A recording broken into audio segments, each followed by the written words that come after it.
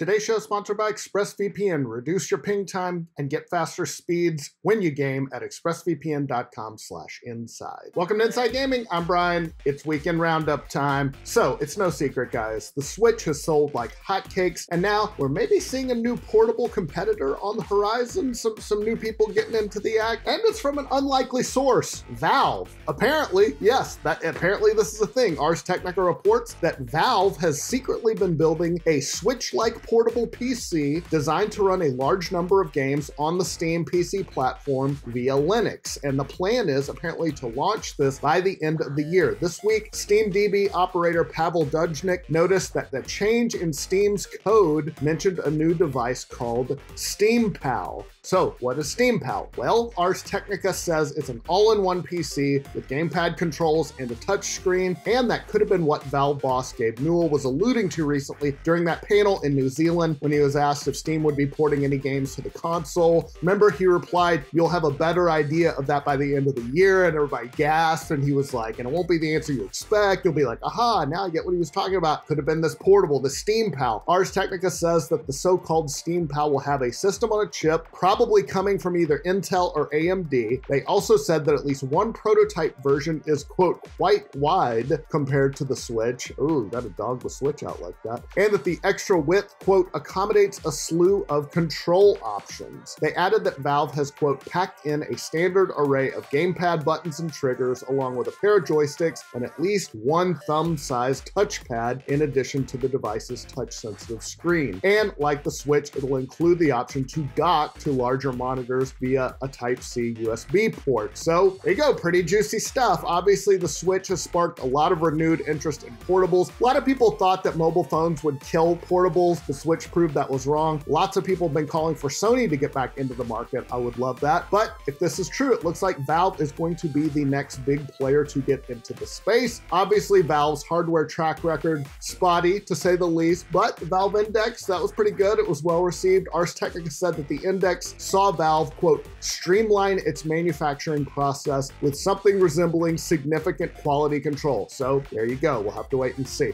All right, we'll get to the rest of the stories in just a second. But first, guys, let's talk purple. The world these days, an extremely uncomfortable place. You know it, I know it's getting muggy here in Texas. Woo! Not looking forward to that swamp feeling you get anytime you're outside for more than five seconds. I'm sweat. I'm sweating right now just reading this ad. One thing I can trust to keep me cool and comfortable is my Purple mattress. which is a true oasis in the heat because only Purple has the grid. What's the grid? That's the stretchy gel material, super supportive for your back and your legs, cushions, your shoulders, and keeps you cool thanks to its design. Purple's grid doesn't trap air, air just flows right through it. That's what you want so you don't overheat. I have a purple pillow. It's great for my neck. I don't get a crick in it when I wake up. It just keeps it totally stabilized. I get a good night's sleep. And when you get older, that is all you want, a good night's sleep. You can try your Purple mattress risk-free with free shipping and returns. Financing is available too. Purple really is comfort for an uncomfortable world. Right now, you'll get 10% off any order of $200 or more. Go to purple.com slash roundup10 and use promo code roundup10. That's purple.com slash roundup10. Promo code roundup10 for 10% off any order of $200 or more. Purple.com slash roundup10. Promo code roundup10. Terms apply. All right, on to the rest of the story. Speaking of portables, we have more reports that the upgraded Switch is due out this year. Bloomberg reported that the so called Switch Pro is expected to be shown before E3 of this year. That should be uh, pretty soon then, and Eurogamer also confirmed it with its own sources. Bloomberg said the new Switch will be released in September or October, and it'll gradually replace the current baseline Switch. That's going to be phased out over time. Switch Lite still going to stay in production though. Like other consoles, the Switch has been hampered by part shortages, but apparently it hasn't been hurt as bad by the lack of chips like the Series X and the PS5 because it uses different components. That makes sense. Of course, the upgraded Switch has been rumored for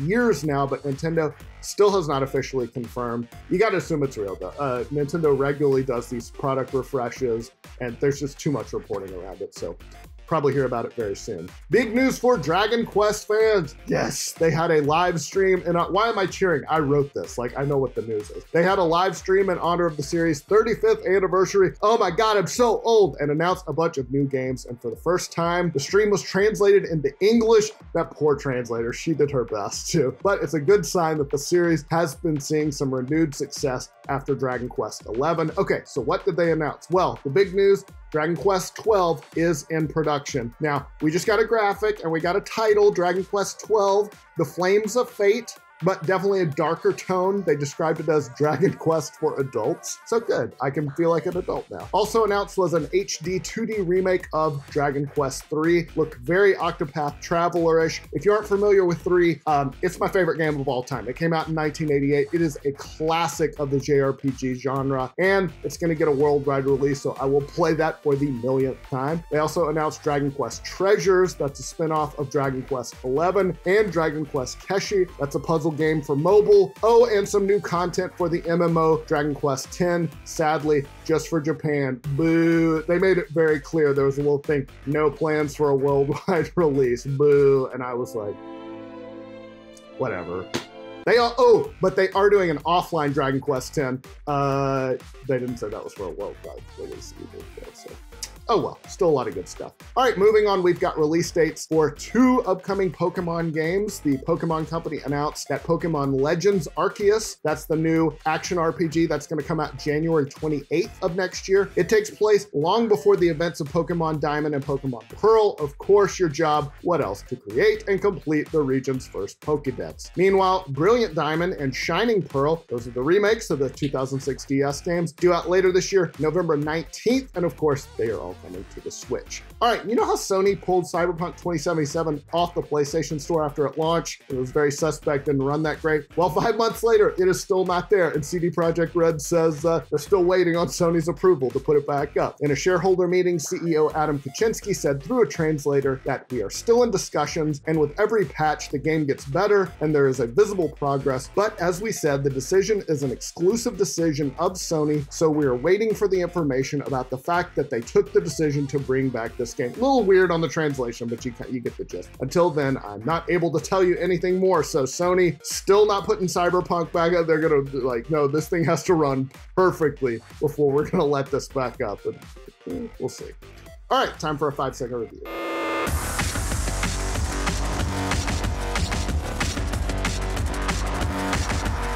This is the craziest game I've ever played. It's like Rocket from Guardians of the Galaxy, except like 20 times crazier. Rocket just seems like uh, pretty normal. That's much more believable than this game. It's fun though.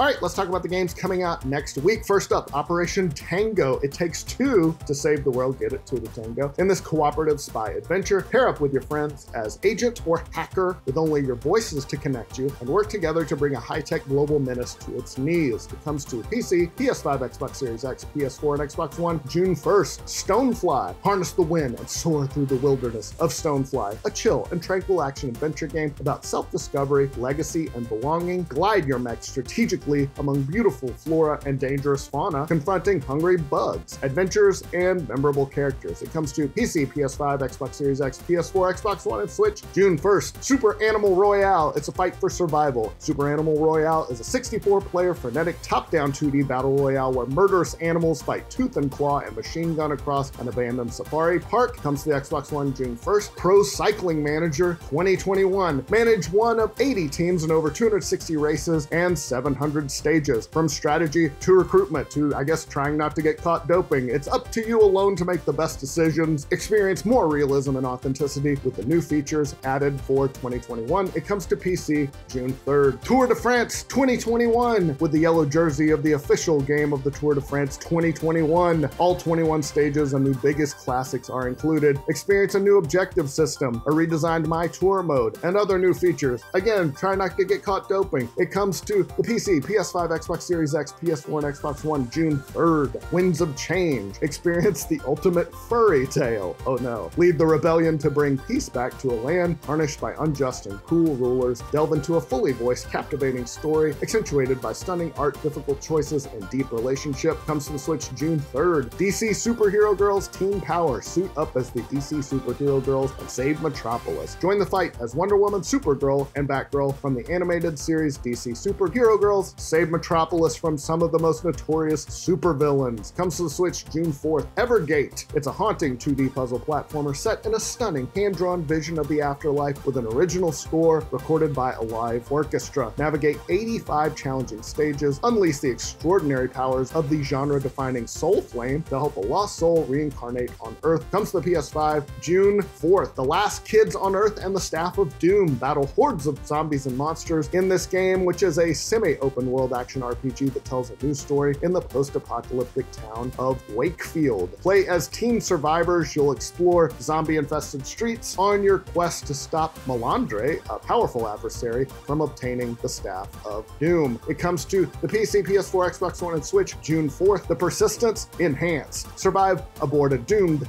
deep space colony starship overrun with horrific and murderous aberrations. Explore, evade, and fight your way through the depths to bring the ship back to Earth. Gather resources, upgrade abilities, fabricate an arsenal of weapons in this sci-fi horror roguelike. Comes to the PC, PS5, and Xbox Series X June 4th. And last but not least, Sniper Ghost Warrior Contracts 2. This is a modern warfare shooter set in the Middle East. Play as Raven, contract sniper assassin, as you take out a series of targets across a dramatic single-player campaign with extreme long long-range shots exceeding a thousand meters. Gear up for the most challenging entry to the series yet. It comes to the PC, Xbox Series X, PS4, and Xbox One June 4th. That's all the news I got for you this week.